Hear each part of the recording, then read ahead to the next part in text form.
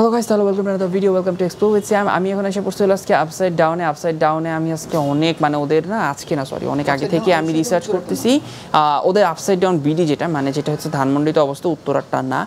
ওদের ধানমন্ডি আর্মিটে যেই সেকশনটা আছে সেই সেকশনে আসার পরে আমি যদি ফেসবুক পেজে দেখছিলাম মাশাআল্লাহ দেখতে অনেক ভালো লাগতেছিল। ভিতরে আসার পরে আমি দেখলাম জিনিসটা এক্সপেক্টেড ছিল না নন এক্সপেক্টেড ছিল যে ওদের গ্যালারিটা একদম আলাদা রেস্টুরেন্টটা একদম আলাদা। আপনি এখানে আসলে ভিতরটা থেকে বাইরেটা কোনোটা এনজয় করতে পারবেন না। জাস্ট পিস অফ শিট কারণ আমি ভিতরটা ঘুরে আসছি। হ্যাঁ এখন আমার ক্ষুদাও লাগছে। এখন আমার কথা মানে যাতে রেস্টুরেন্টে কেউ শুনতে না পারে, যেন কথাটা আসতে বলতে হবে। যাই হোক, আপাতত এখন আমি আমার এক্সপিরিয়েন্সটা বলতেছি। ভিতরে ঘুরে আসার পরের এক্সপিরিয়েন্স আর রেস্টুরেন্টটি ইন্টু এটা চলেন, দেখে আসি।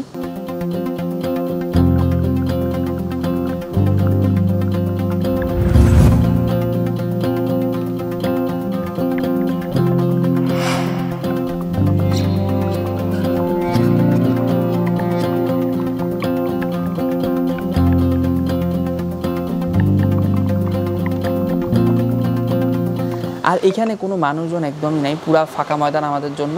তো আমি ইন্টারিয়ারটা দেখে নিয়েছেন আপনারা যে কীরকম রেস্টুরেন্ট ইন্টারিয়ারটার ভিতরে এখন আমাকে ঢুকতে দেবেন না।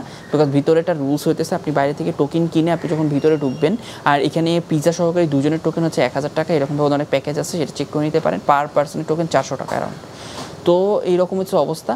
তো আপনি চাইলে ভিতরটা যখন ঘুরবেন, তখন আপনার অবস্থাটা হবে হলো যে ভিতরে হ্যাঁ বা মানলাম গ্যালারিটা অনেক অ্যামেজিং অনেক ক্রিয়েটিভ বাট বাসা থেকে আপনাকে অনেক বেশি রিসার্চ করে আসতে হবে, অনেক বেশি প্ল্যানিং করে আসতে হবে, নাহলে আপনি যখন লাইফে উল্টা ছবি তুলেন নাই না, তখন যখন আপনি এদের এখানে ভিতরে এসে পড়বেন, তখন আপনি কনফিউজ হয়ে যাবেন। যে কেমনে পোজ দিবেন, কী করবেন, না করবেন, এত পেঁচার পেঁচাবেন যে আপনি মানে আর টাইম হবে পঁয়ত্রিশ মিনিট। পঁয়ত্রিশ মিনিটের একটা টিকিটে পার টিকিটের চার্জ পঁয়ত্রিশ মিনিট পার পার্সন পঁয়ত্রিশ মিনিটে। আপনি পোস্টও ভাবতে পারবেন না আপনার রুমগুলো আপনার থেকে গ্যাপ চলে যাবে। তো মানে খুবই একটা কনফিউশন একটা ব্যাপার হয়ে যাবে। তো ভিতরে এক্সপিরিয়েন্সটা আমার একদম ভালো ছিল না। আমার ভালো ছিল না আমি অনেক ফটো তুলে আমার আপনি পেজে যেয়ে দেখতে পারেন। আপনাদের যে ভালো হবে বলে মনে করলে আসতে পারেন ভিতরে পেজটা ভালো আছে। এটা ভিতরে যে সেরকম ভালো লাগেনি। সিনেমার মতন দেখতে অনেক ভালো লাগে এক্সাইটমেন্ট লাগে। ভিতরে ঢোকার পরে শেষ হওয়ার পরে আমরা বলি কি দেখলাম? এরকমই একটা সিনেমাকে রিপ্রেজেন্ট করতেছে ডিপলি ভিতরে যাওয়ার পরে অনেক অ্যামেজিং ব্যাপারটা, অনেক ইউনিক বাট ভিতরটা আপনি সেরকমভাবে এক্সপ্লোরই করতে পারবেন না, আপনার টাইম শেষ হয়ে যাবে, আর আপনি ভালো ছবি তুলতে পারবেন না। ইন্ড অফ দ্য ডে আপনি বাইরে এসে মনে করবেন, আপনার টাকা ওয়েস্ট হয়ে গেছে। আর রেস্টুরেন্টটা যেখানে বসে আমরা খাবেন সেই জায়গাটা বেশি একটা সুন্দর না ইন্টারনেট দেখে তো বুঝে গেছেন। এখন যেটা হয়েছিল, ওদের এখানে একটা পিজা অর্ডার দিয়েছি। পিজাটা আপাতত যেটা আমাদের দুজনের প্যাকেজের সাথে একটা পিজা আসতেছে, এক হাজার টাকার মধ্যে। তো সেই পিজার অর্ডার দিয়েছি, সেটা এখন আমি খেয়ে আপনাদের জানাচ্ছি পিজাটা আসলে কেমন। আর আজকে আমার এক হাজার টাকা চলে গেল।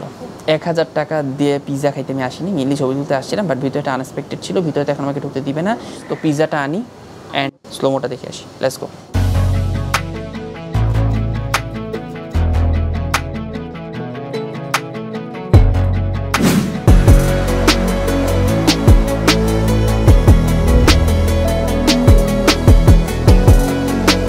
সো গাইস এখন ওদের পিজাটা টেস্ট করার ব্যাপারে তো দেখি ফার্স্টে কি অবস্থা। চিজ তো দিছে হ্যাঁ thin crust and O this thing is মানে অনেকগুলো চিকেন দিছে।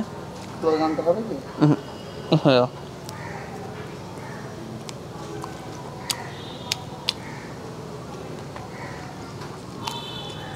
তখন ক্ষুধা লাগবে না? তখন এই জিনিসটা হেভেনের হেভেনের একটা ফুড মনে হবে। Just food like heaven but judgement করতেই হবে, কারণ আপনারা হয়তো পারেন ফরা পেটে আসছেন, তারপরে খেয়ে আপনাদের ভালো লাগতে পারে, নাও লাগতে পারে। তো আমি একটা কামড় দিয়ে সব কিছু বলতেছি।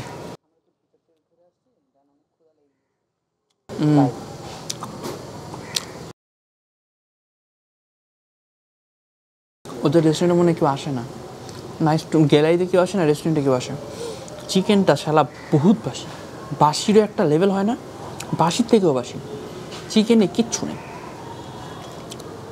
বিলিভ হয় না, দেখে গেছি। কাছে আসেন। ফ্যাত ফ্যাতা চিকেন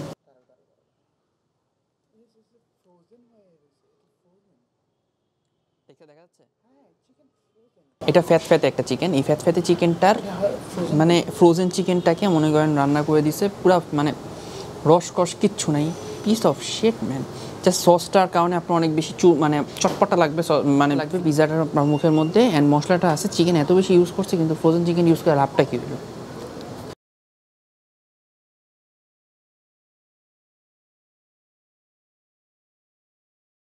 আহামরি চিজও দেয়নি। দাঁড়ান চিজের আহ, কাছে আসো। চিজের লেয়ারটা দেখাচ্ছি।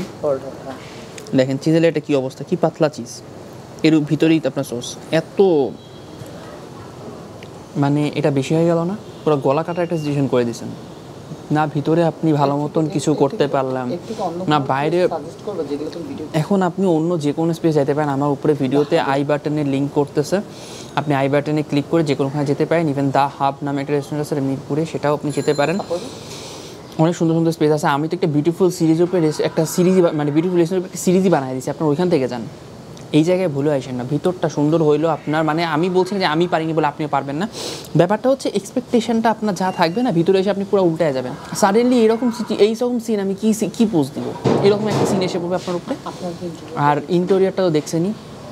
আর সেরকম ভালো লাগবে না ভিতরটা যে মানে আপনার মনে হবে এমন একটা embarrass- মানে ইনভারমেন্টে পড়ে গেছি এখন আমি কি পোজ দিব? আপনি পোজ ভাবতে ভাবতেই কাহিনী খতম। আর এখানে ঝামেলা হচ্ছে হলো বর্ষাকাল বর্তমানে বর্ষাকাল চলতেছে তো এখানে বৃষ্টি পড়ে যেটা হইতেছে বৃষ্টি ভিতরে কোনো উপরে কোনো ছাউনি না থাকায় বৃষ্টি পড়ে না সবার বারোটা বাজতেছে। এখানে আপনি যদি কোনো ইলেকট্রিক ডিভাইস আনেন তাহলে বুঝে আমার মোবাইলে এখানে পানি পড়ে আছে। মানে এখানে আমি যখন আপনাকে ভিডিও করতেছি আপনার জন্য তখন এই পানিগুলো পড়ে আছে। ঠিক আছে? তো এইরকমভাবে আপনার ক্যামেরা, মোবাইল অনেক কিছু নষ্ট হতে পারে। বর্ষাকালে আসলে একটু সিকিউরভাবে আসবেন। ছাউনিওয়ালা জায়গা আছে, ওখানে বসতে পারেন। বাট এখানে মনে করেন সেরকম সুবিধা করতে পারবেন না। অ্যান্ড ফুডের টেস্ট আমি বললামই আপনাকে। Just wash and this thing piece of shit মানে অনেকগুলা চিনি মজাদার, দুধ মজাদার। বাট আপনি চিনি, দুধ একসাথে অনেকগুলা দিয়ে দেন না, তাহলে সেটা মজাদার লাগবে না। সো এখানে পিৎজার মধ্যে চিকেন বেশি দিয়ে দিছে। আর এনভায়রনমেন্ট সুন্দর, কিন্তু সুন্দরটা এনভায়রনমেন্টটা ভালো মানে ওখানে আনএক্সপেক্টেড হয়ে যাবে এই জন্য আপনি পারবেন না করতে। আর চিকেনের মধ্যে একটা গন্ধ আছে। সব কিছু একটা কম্বিনেশনের অনেক ভ্যালু আছে। এখানে মিস কম্বিনেশনের মতো চিকেন দিছে, ভিতরে মিস কম্বিনেশনের মতো সব কিছু করে রেখে দিছে। আচ্ছা তাহলে আর কি বলব? রাখেন আর কি। হুম।